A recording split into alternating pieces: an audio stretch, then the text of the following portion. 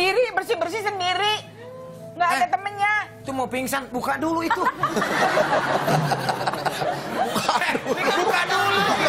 Di rumah. Itunya buka dulu.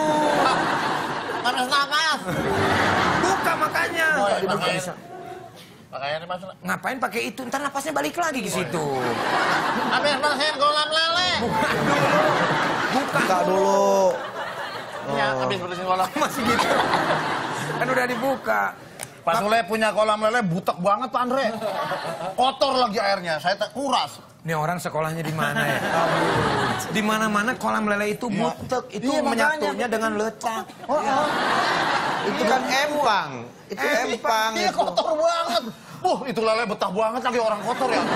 Itu bersihin empang sampai kotorannya itu ke tempat kantin saya. Oh, jadi marah gara-gara itu? Iyalah. Pak Edi, Pak Edi, nggak usah. Sampai saya berantem sama kadal. Orang domba kadang Itu udah sekarang udah kolamnya empangnya udah bening. Udah, nggak nggak salah, Mami Nunung nggak salah, yang salah ini. Kolamnya udah bening. Ah, coba minta maaf, minta maaf. Minta maaf. Udah saya maafin udah biarin. Saya nggak ngulangin lagi. Ya udah. Itu. Ya. Kan di sana dia.